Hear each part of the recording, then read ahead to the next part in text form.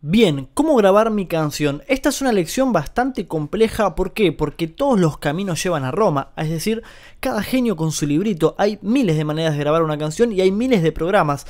En este caso vamos a ver cómo hacerlo en Studio One, pero vamos a intentar hacerlo lo más genérico posible para gente que utilice Kwal o cualquier otro DAO como FL Studio, Pro Tools lo que sea también lo pueda aplicar.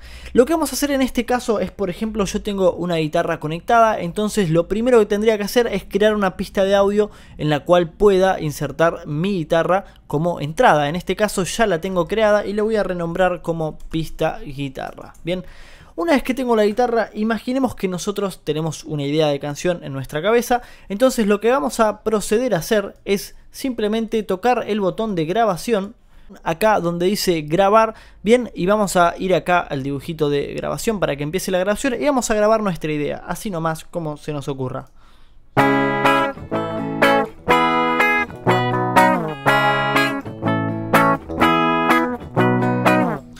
Bien, por supuesto que fue una, obviamente una progresión de acordes muy conocida de una canción característica, pero es para la demostración. Y acá ya tenemos grabado esto, bien, una vez que lo grabamos, lo que vamos a hacer es sacar el tempo de la canción, que es lo más importante para poder tener un proyecto ordenado. Entonces escuchamos.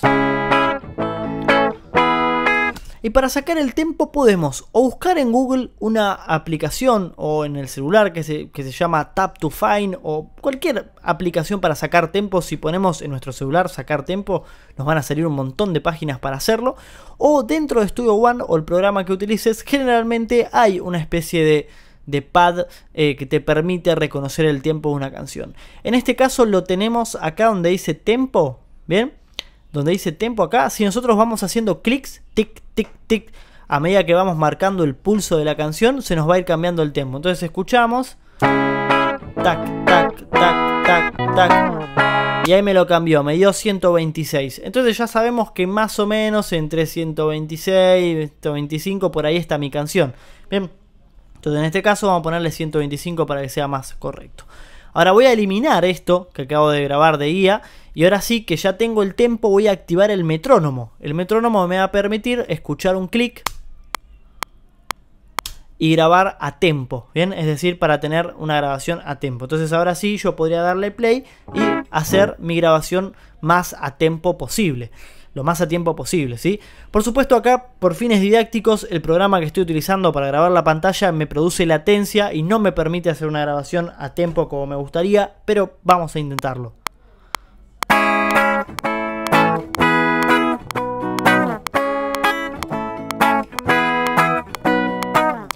Bien, perfecto. Ahí más o menos tenemos metida la pista de guitarra. Y ahora lo que podemos hacer es, por ejemplo, agarrar en el explorador y buscar un loop de batería como este. Y lo vamos a agregar a nuestro proyecto. Entonces, al tener el proyecto a tempo, esto se va a sincronizar y ya podemos ir escuchando una idea de cómo va quedando nuestra canción. Por supuesto esta guitarra está grabada por línea y así pelada suena bastante feo, de hecho está un poquitito pasada de ganancia, vamos a ajustar la ganancia desde acá. Bien, y ahora lo que vamos a hacer es cargarle un efecto. Para cargarle un efecto lo vamos a hacer desde la parte de mezcla, desde la consola. Insert y vamos a cargarle un emulador de guitarra. Bien.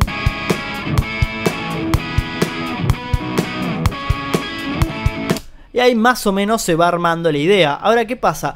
Una técnica que se suele usar, por ejemplo, a la hora de grabar guitarras, es volver a grabar otra guitarra Bien, crear otra pista y grabar otra guitarra para poder tener básicamente la guitarra en estéreo, porque ahí tenemos una sola pista de guitarra. Y mira lo que pasa, por ejemplo, si yo esta guitarra la mando hacia la izquierda eh, de, los parlantes. por supuesto tenés que estar viendo esta lección en monitores o en auriculares.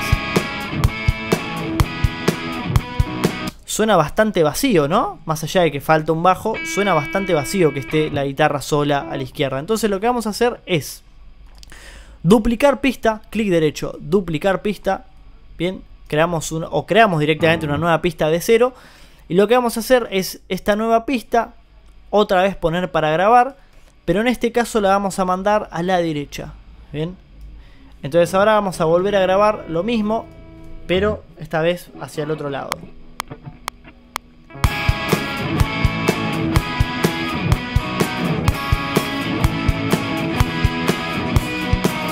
Bueno, por supuesto hay algunos errores ahí en el tempo, en la interpretación, en todo, porque no, se puede, no se puede hacer algo prolijo con, con, el programa con el cual estoy grabando la pantalla, pero más o menos ahí se puede notar la idea de la lección, ¿no? Fíjate cómo cambia tener una sola pista de guitarra, vamos a escuchar con una, a tener las dos. Ahora sí, si tuviéramos un bajo en el medio, ya esto empieza a tomar, por supuesto que otro color, ¿no? Entonces vamos a hacer eso, pero yo no voy a agregar un bajo físico porque no tengo un bajo en mi casa, así que voy a agregar un bajo virtual.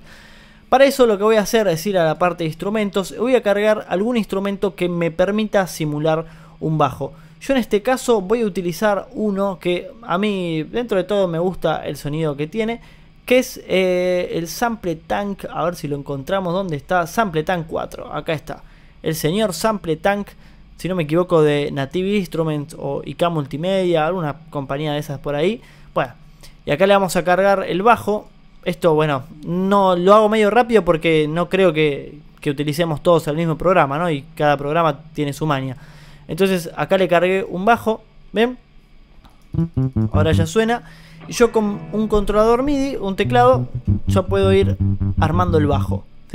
Pero también lo puedo armar desde la edición MIDI, dando doble clic y empezando a escribir las notas individualmente. En este caso voy a preferir directamente tocar con mi controlador MIDI las notas, bien, y armar el track. Entonces vamos a probar. Ahí tenemos, entonces ahora vamos a marcar la pista MIDI para que se empiece a grabar. Bien, desmarcamos esta. Bien, y ahora sí, vamos a grabar este, la pista de bajo. Vamos a grabarla ahí. A ver qué tal empieza a sonar esto, ¿no?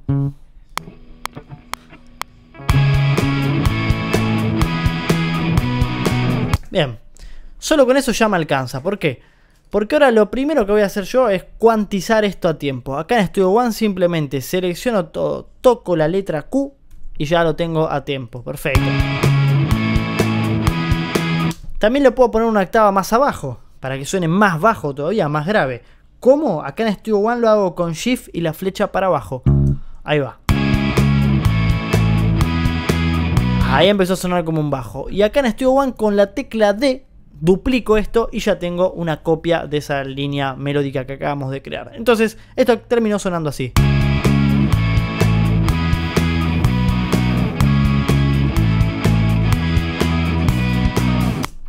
Y ahí ya más o menos fuimos plasmando la idea que teníamos. Una cosa que podemos hacer ahora acá en Studio One es, por ejemplo, agregar acá una pista marcador, bien, y crear un marcador acá que sea, por ejemplo, no sé, que nos marque eh, idea, idea verso 1, ¿ven? Y acá, por ejemplo, en el compás que sigue, podríamos ponerle que acá va a empezar el estribillo. Entonces podemos crear un marcador nuevo para decirle acá estribillo. Entonces ahí nos fuimos organizando para crear, digamos, las distintas partes de nuestra canción y empezar a producirlo. Por supuesto, ahora nos quedaría seguir grabando el resto de nuestra canción, después ir a la parte de mezcla, empezar a mezclar, después podemos hacer detalles de afinación, las partes que acá grabé fuera de tiempo, por ejemplo, podría regrabarlas Bien, o directamente hacer cortes en la edición y ajustarlas para que quede todo a tiempo. Lo mismo con las notas MIDI, podría empezar a modificar el bajo, por ejemplo, para que haga alguna variación, por ejemplo. Por ejemplo, puedo poner, agregar una nota nueva acá. Vamos a darle zoom, por ejemplo. No sé, por ejemplo. ¿Ves? Y hacemos un arreglito con el bajo. Bueno, cambiar el loop de batería, ¿por qué no directamente cargar un, un BCT de batería como puede ser el Steven Slade Drums, que es gratis, este lo puedes descargar de, la página Steven Slade Drum, lo arrastro, creo una pista MIDI, ¿ven? Y ahora acá tengo, digamos, vamos a cargar un, kick, ¿ven? Un kit, perdón. Y acá tengo una batería virtual, entonces ahora este loop que yo tenía de batería lo voy a sacar y voy a crear mi propia línea de batería.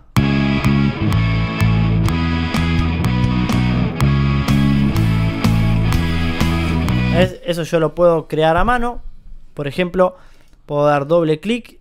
Bien. Y acá voy a tocar la parte de la batería para que se abra el drum map. GM Drum.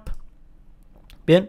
Esto lo hago medio rápido porque si no estás utilizando Studio One, eh, por ahí es medio un bodrio, ¿viste? Entonces intento básicamente acá mostrarte rápido cómo se hace, pero cada programa tiene su forma de, abrir, obviamente, un, editor MIDI o un editor de batería. Entonces acá yo, por ejemplo, ya puedo empezar a armar esta batería. vamos a darle un poquito más de volumen. Vamos a ponerle ahora un hi-hat. ¿Por qué no? Acá. Vamos a ponérselo ahí.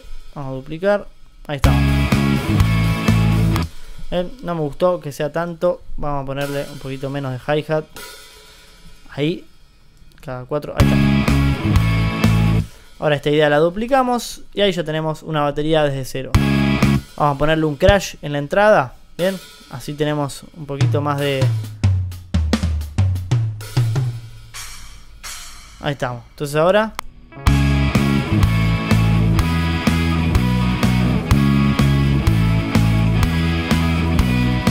Bien, ahí fuimos armando nuestra canción. Eso es básicamente, después dependiendo de lo que nosotros estemos trabajando, ya es cuestión de ir agregando instrumentos, sacando, haciendo la producción.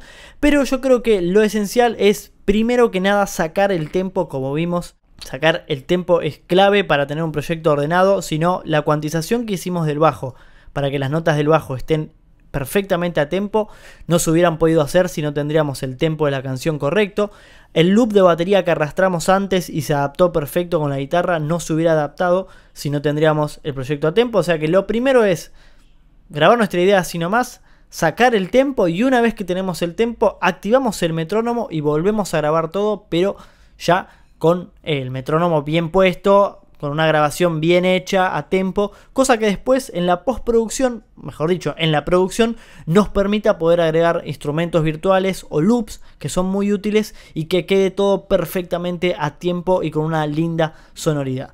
Eso es básicamente un resumen general o al menos una idea de cómo se podría empezar a trabajar una canción. Por supuesto que si vos te dedicas al urbano, ya la forma de trabajar es distinta, la manera en la que se crea un beat es diferente, porque probablemente partirías directamente de, de un BCT o un instrumento MIDI, de una idea y después empezarías a soltar loops, pero el concepto es exactamente el mismo ya sea que estés trabajando un beat o una canción de rock o metal o de tango, es importantísimo que aprendas a sacar el tempo y, si te puedes ordenar con los marcadores para saber la estructura de la canción, si vas a empezar con el estribillo, después ir al verso, después ir a un puente, también es muy útil para llevar dentro de todo un orden prolijo de lo que estemos componiendo. Te veo en la próxima lección.